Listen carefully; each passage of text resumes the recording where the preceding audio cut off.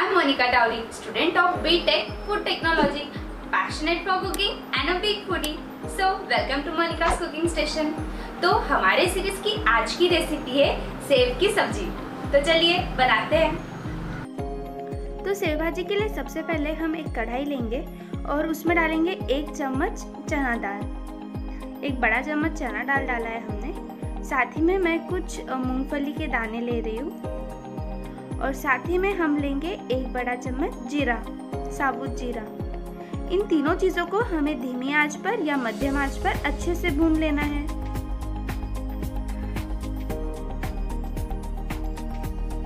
देखिए, जब उसमें थोड़ी सी सुगंध आने लगे और जब वो इस कलर के हो जाए ना तो हम उसे बंद कर देंगे और पीस लेंगे।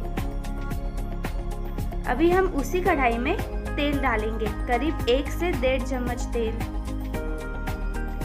और उस तेल में हमें कुछ चीज़ें भूननी है। जैसे कि सबसे पहले मैं डाल रही हूँ खोबरा, यानी कि नरियल, सूखा हुआ नरियल। और साथ ही में थोड़े बड़े पीसेस में कटा हुआ प्याज। नरियल और प्याज को हमें अच्छे से भूनना है। बहुत ज़्यादा ब्राउन नहीं करना है, लेकिन थोड़े से प्याज सॉफ्ट हो जाए, तब तक हम उसे अच्छे से भून लेंगे। मध्यम आँच पर ही हमें भूनना है।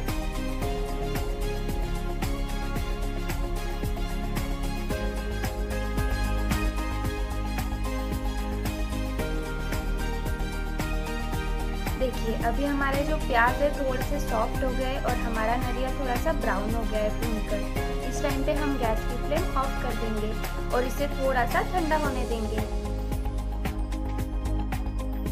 हमने जो चना दाल वगैरह भुनी थी ना, देखिए उसे पीस कर हमने रेडी कर लिया है और उसी ग्राइंडर में अभी हम कुछ और डालने वाले हैं। सबसे पहले मैं डाल रही हूँ इसमें हरा धनिया।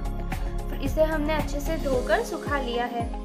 फिर मैं ले रही हूँ पाँच हरी मिर्च।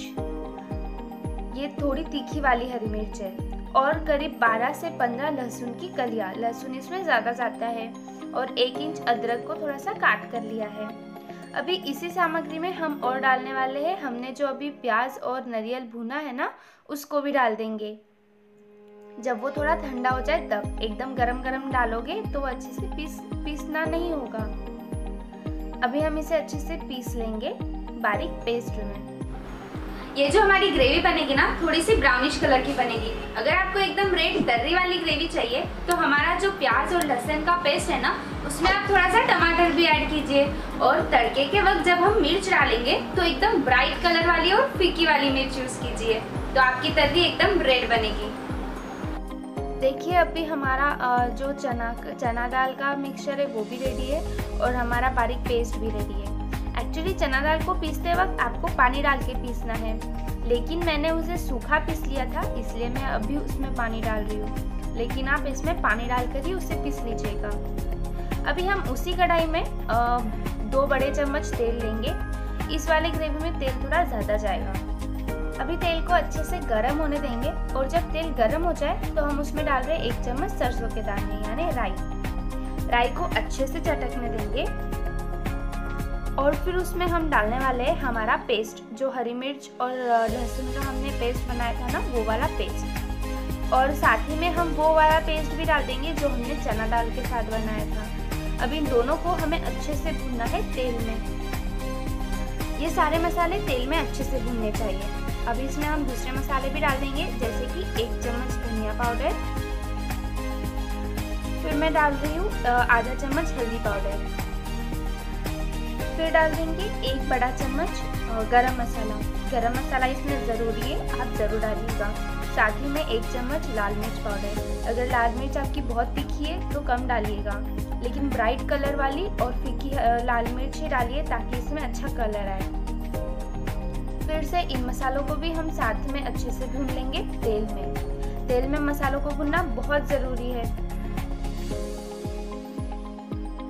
आ, गैस की आज धीमी रखिएगा या मध्यम रखिएगा नहीं तो आपका जो मसाला है जल सकते हैं नीचे से।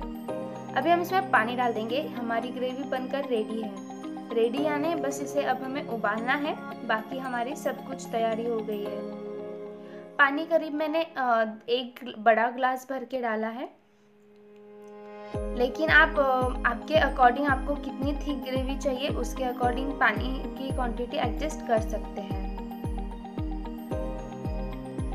बस अभी हम इसे मध्यम आँच पर पकाने के लिए छोड़ देंगे। जब तक इसमें अच्छे एक दो उबाल आ जाए तब तक। हाँ लेकिन इसमें एक इंग्रेडिएंट अभी भी कम है, यानी कि हरा धनिया। बस अभी हरा धनिया भी डल गया है तो हमारी ग्रेवी बनकर बिल्कुल रेडी है।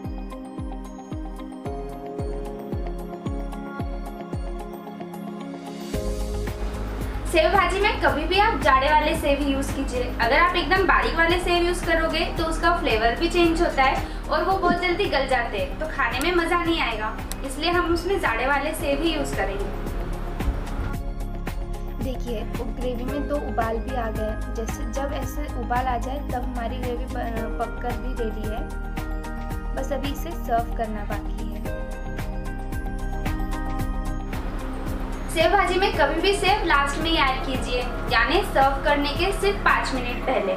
यानी जब आप खाओगे तो एकदम क्रिस्पी सा भी टेक्सचर आएगा और थोड़े से मेल्ट भी हुए होंगे कंसिस्टेंसी भी बहुत अच्छी हुई है हमारे ग्रेवी की और एकदम तर्की भी बनी है। सिर्फ़ कलर थोड़ा डल है, थोड़ा ब्राउन है। लेकिन अगर आपको ब्राइट कलर पसंद है तो आप इसमें जैसे मैंने सजेस्ट किया, वैसे मिर्च वगैरह डाल दीजिए। वीडियो लास्ट तक